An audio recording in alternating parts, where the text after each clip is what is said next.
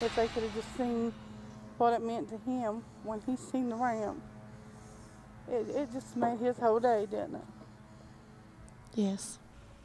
For Freddie Robertson, getting in and out of his Sevierville home in a wheelchair was impossible. That is until a group of people volunteered to build him a ramp. They didn't ask for anything in return, and reporter Gabrielle Hayes shows us why they did it.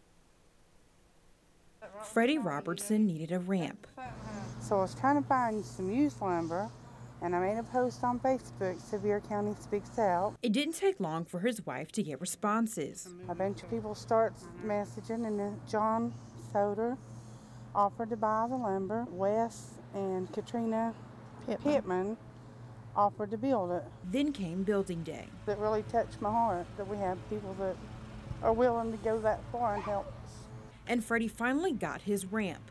It was wonderful, and my husband had tears in his eyes when we pulled in. Wes and Katrina Pittman were there that day. I saw that they were needing some help. They say helping the Robertsons brought them back to the Gatlinburg wildfires when people helped them. And when my family was burned out, we had a lot of help just come in, pour in, pour in.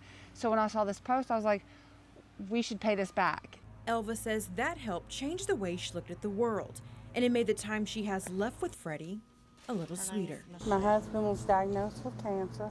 They've only given me a couple weeks to a month to live. Freddie is now in hospice, but Elva says just like the people who helped him, he's a wonderful person. And he's the type of person that would give too. They say they hope their story will inspire others to lend a helping hand, even during hard times. Help. Keep, yeah. yeah. keep, Keep helping. helping people. Just It's- keep helping. Yeah, w- we're not. Um, We're all one world. Yeah. Well, just like uh, Bob Marley says, it's one love.